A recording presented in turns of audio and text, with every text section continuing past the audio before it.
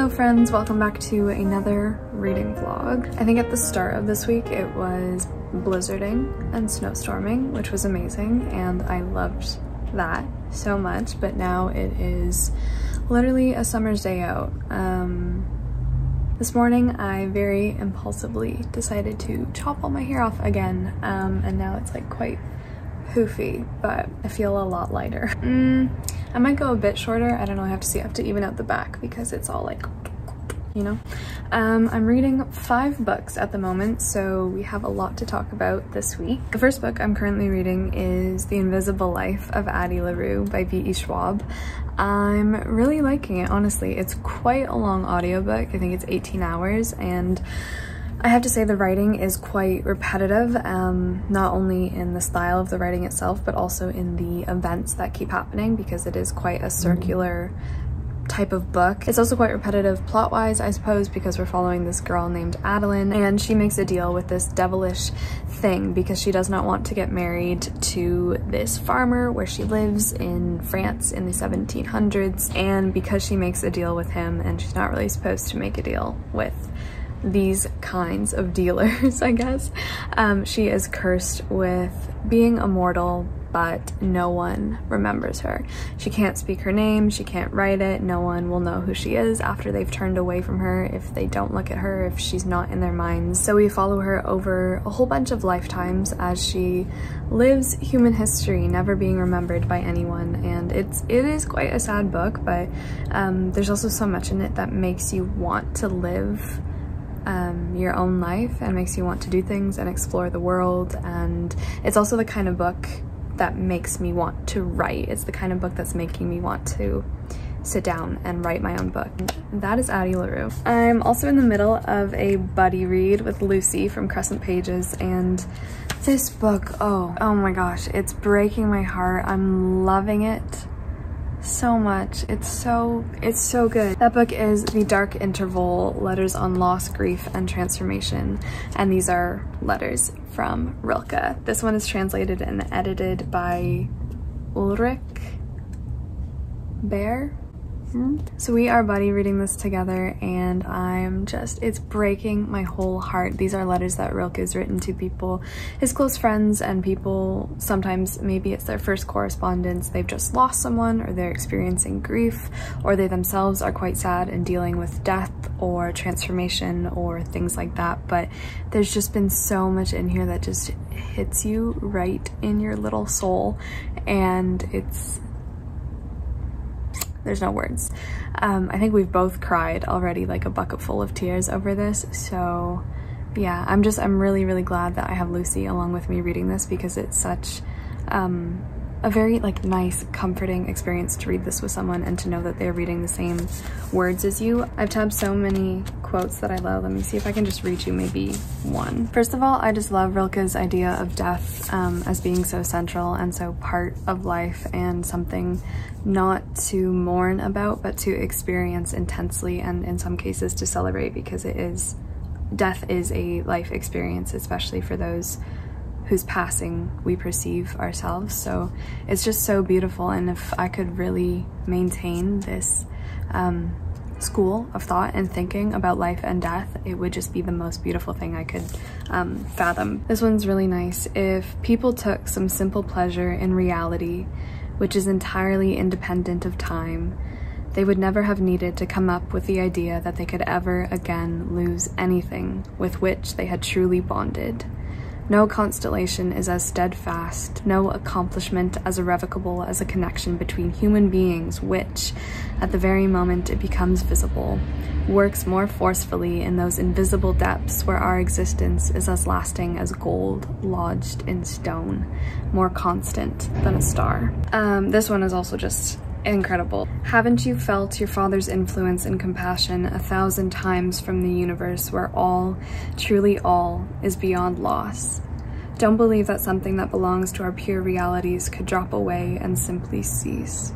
Whatever had such steady influence on us had already been a reality independent of all the circumstances familiar to us here.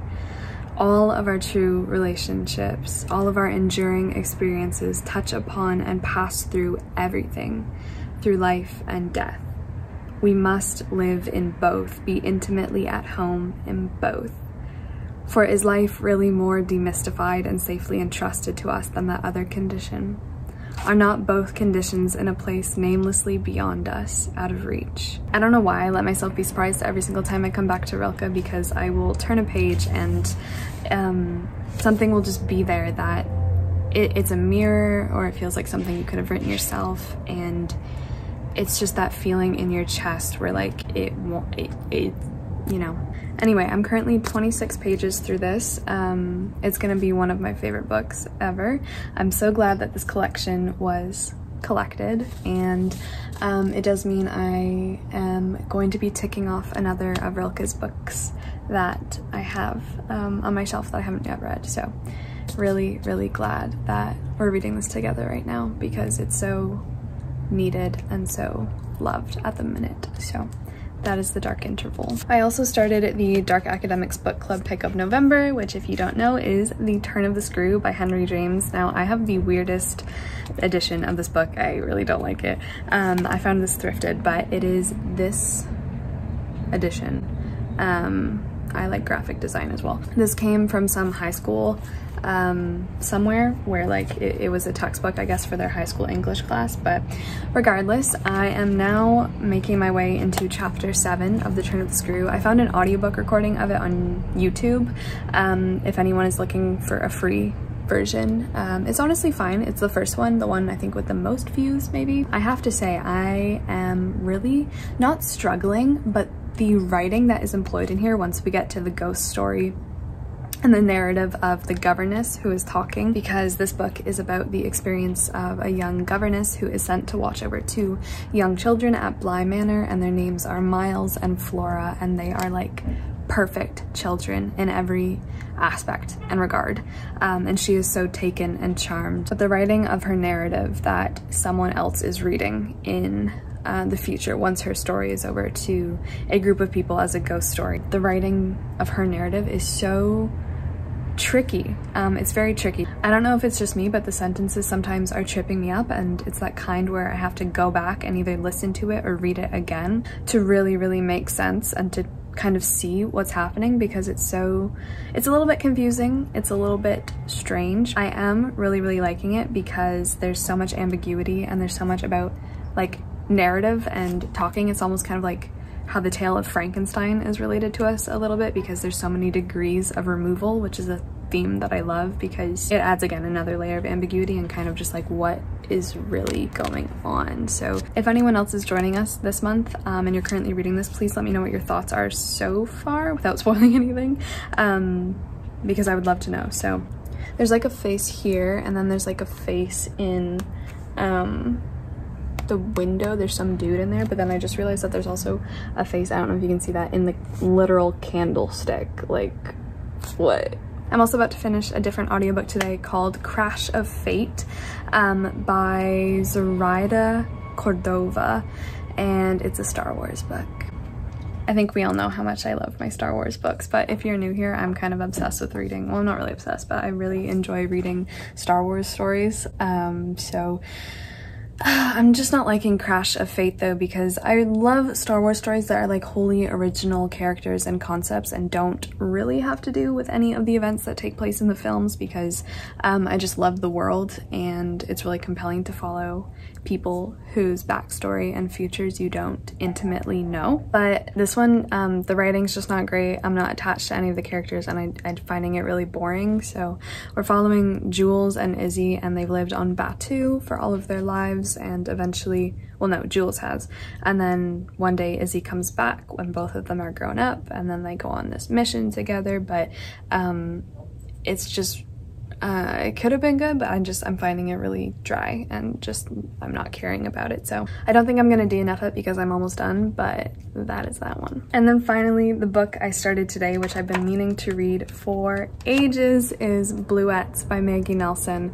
I'm so, so excited to read this. This was a gift and the little note that went with it said that Maggie Nelson is to me what Anne Carson is to you. We know how I feel about Anne Carson. So this is, I don't know, poetry poetry, musings, collections, contemplations all about the color blue. I believe mostly on human suffering, on love, on the creative writing process and stuff like that.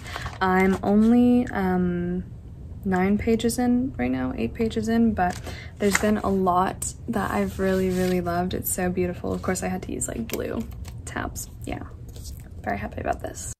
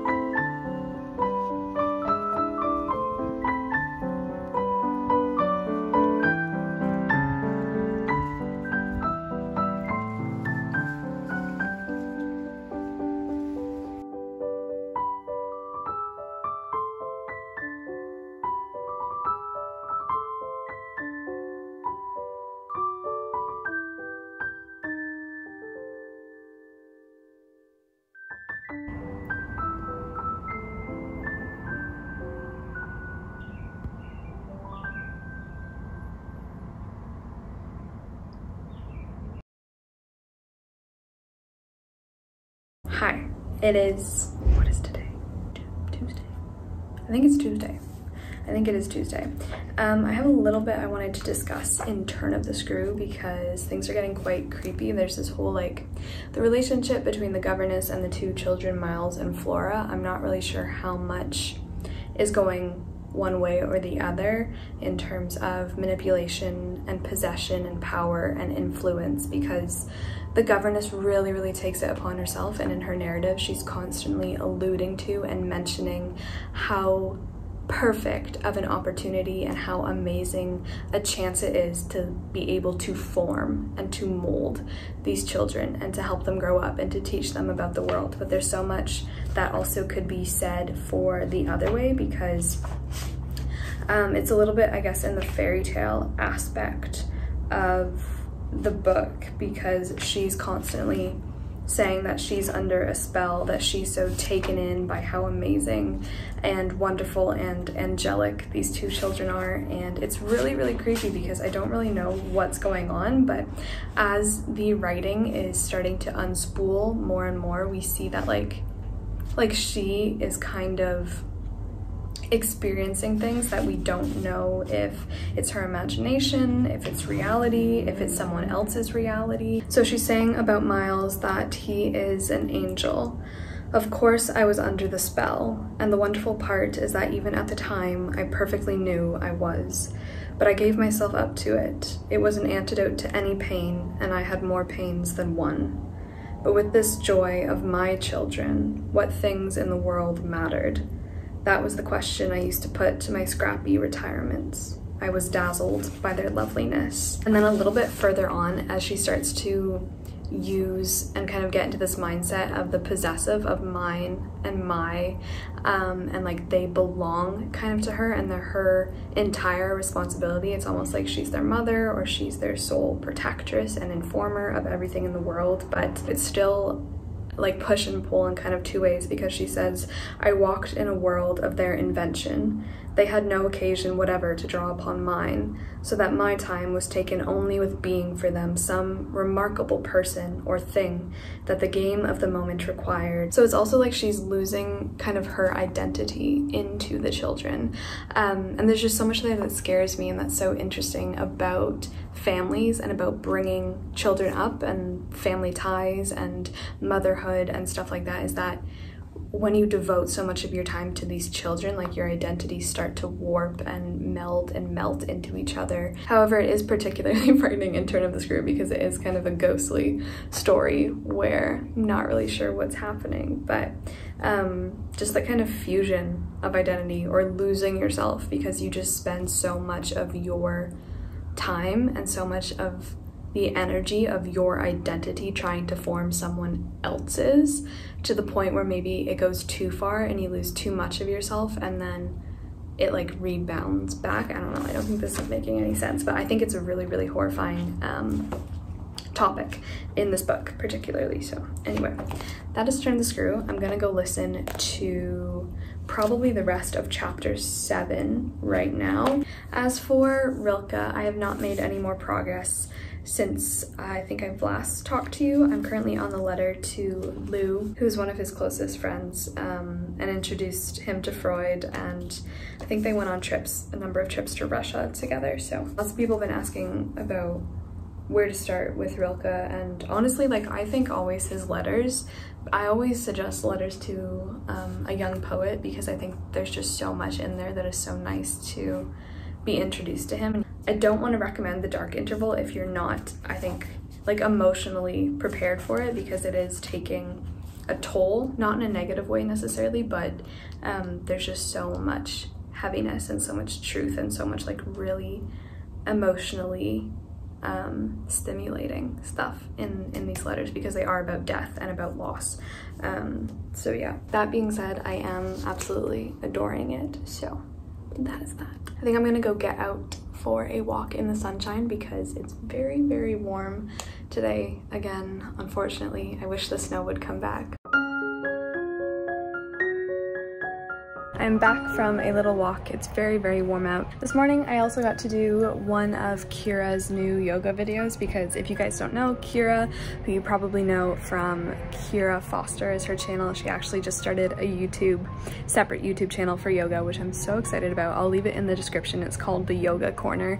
Um, so I did one of her classes today and I loved it. I really, really loved it. I think she's a brilliant teacher um, and I love her so much and it's so fun now that I get to do like yoga um, kind of with her and through her channel. So that is what I did this morning. And I think right now I'm gonna go make some dinner. I think I'm gonna try to do some like taco burrito thing.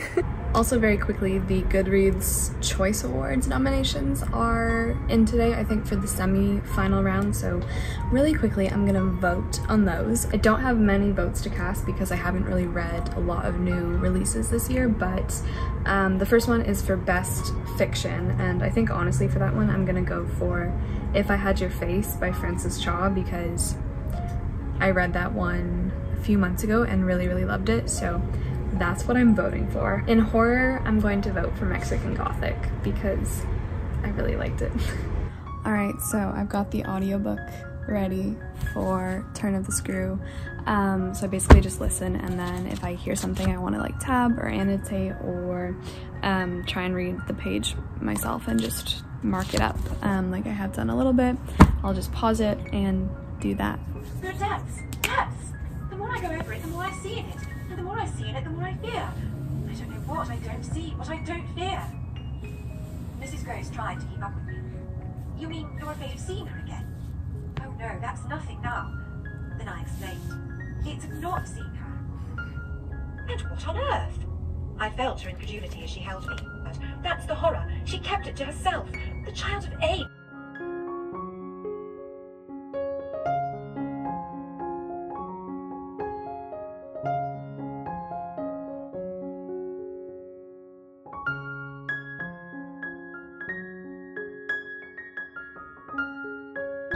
Right, so it's like, oh, I just saw a bat.